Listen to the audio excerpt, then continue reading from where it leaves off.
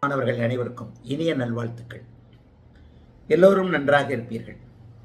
ஒரு தசையில வெவ்வேறு புக்திகள் எவ்வாறு செயல்படும்? ஒரே தசையில வேறு வேறு புக்திகள் எவ்வாறு செயல்படும்?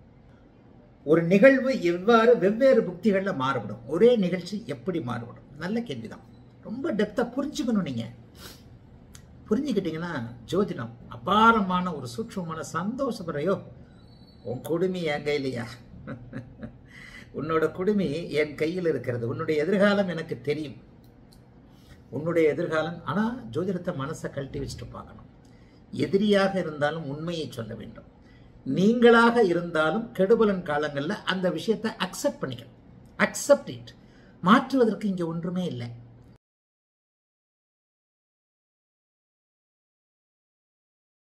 ஒரு உதாரண ஜாதகங்களை விளக்கும் போது தெளிவாகவே புரிஞ்சுக்கிறீங்க.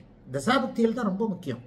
முதல்ல ஜாதகத்தை பற்றி அனலைஸ் நம்முடைய வீடியோக்களுக்கு பிறகு நம்முடைய ப்ரீமியம் வீடியோக்கள் நம்முடைய ஆன்லைன் வகுப்புகளுக்கு பிறகு நிறைய பேருக்கு சுடேர்னு மண்டையில் அடித்த மாதிரி புரியுது. ஜாதகத்தை காம்பினேஷனோட தான் பார்க்கணும். பாவக அடிப்படை அது இயங்குது இது இயங்குதுன்னா சும்மா சொல்லிக்கிட்டு இருக்க முடியாது. அவ்வளோதான் தெரிஞ்சது. ஒரு ஜாதகம் என்பது ஒரு முழு மனித உடல். மூளை வாய் கண்ணு பேச்சு கை கால் எல்லாம் சேர்ந்தது மனுஷ உடம்பு. அது மாதிரி பன்னிரெண்டு பாவகமும் ஒம்பது கிரகமும் இருபத்தேழு நட்சத்திரம் எல்லாத்தையும் சேர்த்து வச்சு தான் பார்க்குறாங்க. அதுக்காக நட்சத்திரங்களுக்குள்ள தான் இருக்குது சுத்தமாக இல்லை. அடுத்தடுத்த கேபி சிஸ்டத்தை பற்றினா பெரிய மிகப்பெரிய வீடியோக்கள் ஒரு உதாரண விளக்க வீடியோக்கள்லாம் போடுறேன். ஏன்னா எது உண்மை அப்படிங்கிறத நீங்கள் நிரூபிக்கிறதுக்கு எது சரியில்லாதது எது உண்மைக்கு மாறானது அப்படிங்கிறத சொல்லித்தான் புரிய வைக்க முடியும்.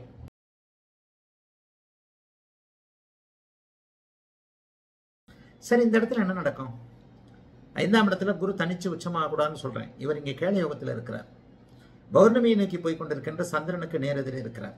இங்கே டிகிரி கணக்குகளுக்கு உள்ளே போகிறத விட ஒரு பொத்தாம் பொதுவாகவே சொல்லித்தரேன் இந்த இடத்த ராகு திசைக்காக நான் எடுத்திருக்கிறேன். ராகு திசை எப்போ வரும்? உத்திராட நட்சத்திரத்தில் பிறந்திருக்கிறார். உத்திராட நட்சத்திரம் நாலாம் பாதம்னு வச்சுக்குவோம். சந்திரன் வர்க்கோத்தமும் இருப்பார். அந்த வர்க்கோத்தமும் கூட இரண்டாவது நிலை தான் செவ்வாதசை ராகுதசை அப்போ எப்போ வரும்? செவ்வாதசை ராகுதசை சீக்கிரமாகவே வந்துவிடும். அப்போ இந்த இடத்துல பார்த்தீங்கன்னா ராகுதசை இளமையில் அவரை துன்புறுத்தவே துன்புறுத்தார்.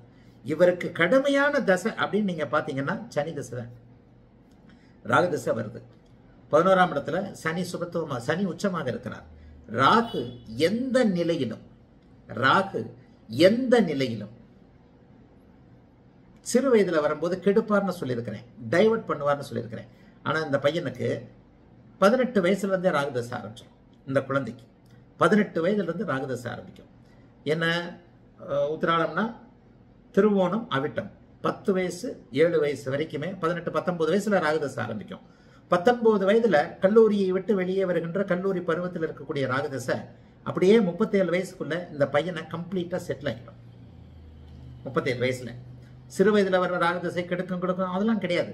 ஒரு இருபது இருபத்தஞ்சு வயசுன்றது சகல போகத்தையும் அனுபவிக்கக்கூடிய வயசு தான் ஏன் ராகுதசை நல்லா இருக்கும்னு சொல்றேன்?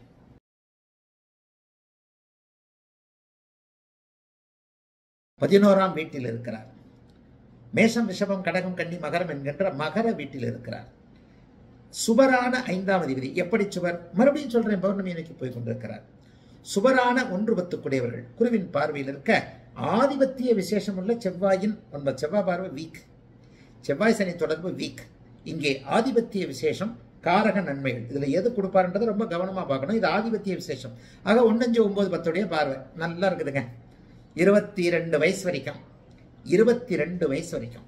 ஃபவுண்டேஷன் சொல்லப்படுகின்ற சில நிலைகளை ராகு இங்கே கொடுப்பாங்க இருபத்தி ரெண்டு வயசு வரைக்கும் என்னென்ன என்ன அமைப்போட கொடுப்பாரு? அப்படியே கொஞ்சம் படிப்படியாக ஒரு நல்ல நிலைமைகளை கொடுப்பார். இருபத்தி ரெண்டு வயசு வரைக்கும் நல்ல நிலைமைகளை கொடுப்பாரு. ஸ்டாண்டர்ட் ஆக்குவார். இருபத்தி ரெண்டு வயசுல இருந்து இருபத்தி அஞ்சு வயசு வரைக்கும் இங்கே குரு. எட்டில் சனி ராகு சுயபுக்தியும் குருபுக்தியும் நல்லா இருக்குங்க. சுயபுக்தியும் குருபுக்தியும் இந்த இடத்துல நல்லா இருக்கும். இந்த ஜாதகருக்கு சுக்கரனும் பாதிக்கப்பட்டிருக்கிறாரு. சுக்கரனுடைய வீடான சனி துலாமும் பாதிக்கப்பட்டிருக்கு எட்டாம் வீடும் பாதிக்கப்பட்டிருக்கு. அப்போ எட்டில் இருக்கிற சனி என்ன பண்ணுவார்?